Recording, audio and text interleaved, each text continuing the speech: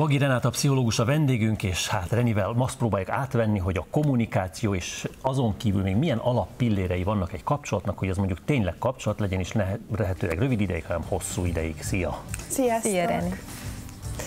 Hát igen, az biztos, hogy a kommunikáció ez fontos, és ezt közhelyszerűen is sokszor el szoktuk mondani, hogy a párok kommunikálnak egymással, de hogy hogyan, az ugye nem mindegy. Mert nagyon sok esetben azt veszük észre, hogy ugyan beszélnek egymással, egy effektív beszélnek egymással, de nem beszélnek semmiről. Tehát ki hozzá el a gyereket, ki mit vásárol, hol van az autó, hol a kocsikulcs, ilyen témák, ez azért nem egy kommunikáció, ez csak Ilyen a... udvariassági beszélgetés szokott lenni sokszor, amikor elmegyek egy-egy családhoz, és mm. ezt hallom, és azt mondom, hogy úristen, erről minek beszélni, amikor ez én nem is látom, hogy másikat nem érdekel. Igen. Tehát, hogy ennek is megvan a funkciója, de hogy ez a párkapcsolat szempontjából nem egy kommunikáció, ezt az ember a kollégáival is lefolytatja.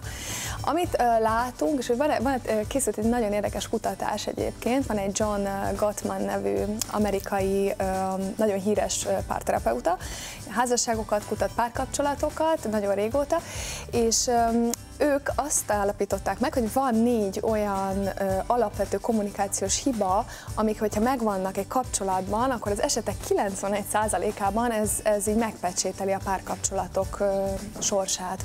Úgyhogy ezért ez elég érdekes. Ebből az első, hogyha ha gondoljátok, tudunk erről egy kicsit beszélni. Nagyon várjuk, én van rögtön igen, láttam, hogy egy kicsit igen, igen, igen. hogy halljuk, halljuk azt a négyet. Igen, az első az mindenképpen a kritika. Tehát ugye amikor azt mondom a másiknak, hogy tudom én, annyira béna vagy, hogy nem tudsz ide beparkolni, vagy ilyen vagy olyan vagy. Tehát, Aha. hogy amikor a másikat kritizálom. Ugye itt ilyenkor soha nem az a probléma, tehát ez a, az a gond, hogy nem ő vele van a baj, nem ő vele van a problémám, hanem mondjuk azzal, amit csinált. Tehát ugye ilyenkor azt is lehet mondani, hogy figyelj, kiszálljak, megnézem, hogy hogy tudunk beállni, vagy válasz egy olyan helyet, ahova biztosabban be tudsz állni, vagy nem tudom, de hogy ugye a másiknak a kritizálása az már eleve egy olyan felütés, amire amiből sokszor következik a második alapvető hiba, ami a védekezés.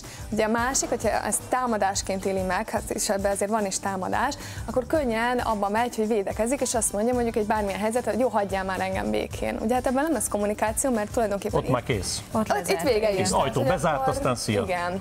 És ez nagyon sokszor van, hogy akkor is, ha az ember esetleg normálisan fordul a másikhoz egy kéréssel, tehát azt mondom, hogy tudnál-e nekem segíteni ebben és ebben, akkor azt mondja, hogy hát ez a te dolgod, old meg. Ugye ez is egyfajta védekezés, amikor elhárítom a másiknak a kérését, és azt mondom, hogy na én ebből, lesz, ebből én nem kérek. Ez is nagyon bántó lehet a másik ember felé, mert egyfajta bezárkózás is, meg ez a kicsit azt az érzetet keltem vele, hogy én nem vállalok ö, semmit abból, ami most neked a kérésed, a problémát, hanem ezt itt old meg egyedül, nem, nem vagyok hajlandó ezzel foglalkozni. Úgyhogy ez is egy nagyon bántó dolog tud lenni, és elég gyakori.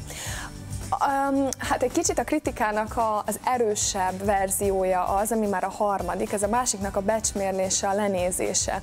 Ez nagyon gyakran előfordul akkor, hogyha a párok nem egyenrangúak valamilyen szempontból. Tehát akár az szolgáltatott az egyik a másiknak, akár mondjuk anyagilag például? Például, igen, tehát azért is lehet, de akár abból is fakadhat, hogy mondjuk eltérő szociokulturális közegből jönnek, más műveltségűek, stb.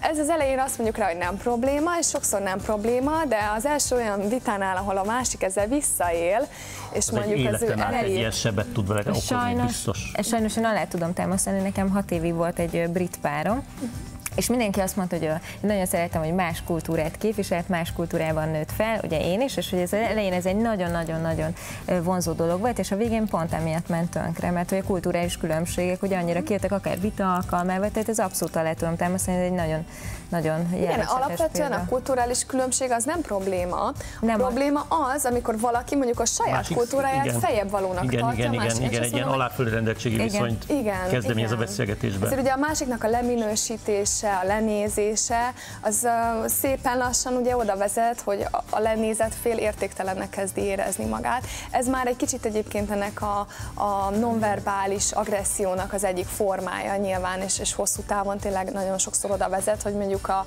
a másik fél teljesen elbizonytalanodik önmagában és a saját önértékelésében. Hát vagy érted, ezt még lehet fokozni, idézőjelbetéve fokozni, de amikor mondjuk mások előtt megszégyenített például, vagy tehát, hogy, hogy Igen kész. Tehát, hogy ez, ez a kapcsolat ez örökre meghatározódik szerintem így ebbe a sablonba, és onnantól kezdve, ha nem áll ki ott valaki magáért, akkor nem tudom, hogy ezt hogy lehet megoldani egyébként. Igen, egy meg, meg az a baj, hogyha már elindul egy ilyenfajta kommunikáció, akkor ez csak rosszabbodik, nem? Tehát, hogyha már megengedjük ezt, Nagyon nehéz, igen, ezt az ördögi kört megtörni. Én is azt veszem észre, hogy ez olyan, mint a, a farkas a kismalacos mes, mesében, hogy csak a lábamat enged be, csak uh-huh. a másik lábamat.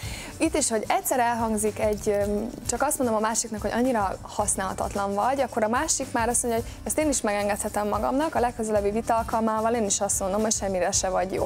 És akkor ezt most, hát nem akarom fokozni, de hogy ez egészen csúnya végletekig elmehet, mert hogy én is megengedem, te is megengeded, és akkor ez így épül egymásra, és az a, az a vége, hogy egyszerűen minősíthetetlenné válik a stílus, a kommunikáció, a másikkal való beszélgetés, és ebből kitörni, tehát ezt, hogy megállítani, hogy a legközelebbi vitába ezt valaki ne kezdje el, az nagyon-nagyon nehéz. Hát, hát jó kis nehéz témát köszönjük. hagytunk itt a végére, de köszönjük szépen, azért gondolatindítónak nagyon jó, jó dolgokat mondtunk, meg jó, jó dolgokat mondtál is, hogy ez... Nagyon jól összegezted ezt Hát lesz még gondolkodni egész nap. Köszönjük szépen, hogy itt voltál.